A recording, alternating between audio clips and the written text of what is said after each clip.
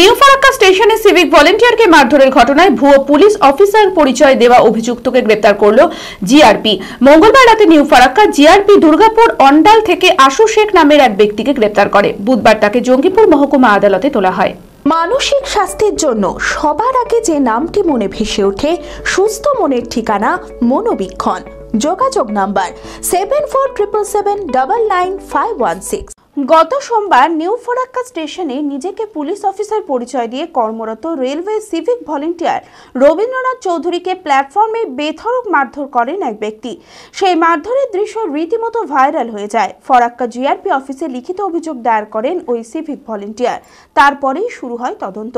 Mobile ফোনের সূত্র ধরে মঙ্গলবার রাতে নিউ ফরাক্কা জিআরপি দুর্গাপুর অন্ডাল থেকে আশু শেখ নামের ওই ব্যক্তিকে গ্রেপ্তার করে। তার বাড়ি ফরাক্কার বেওয়া অঞ্চলে।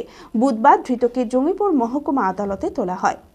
ওটারই তারপরে আমাদের একটা এফআইআর হয়।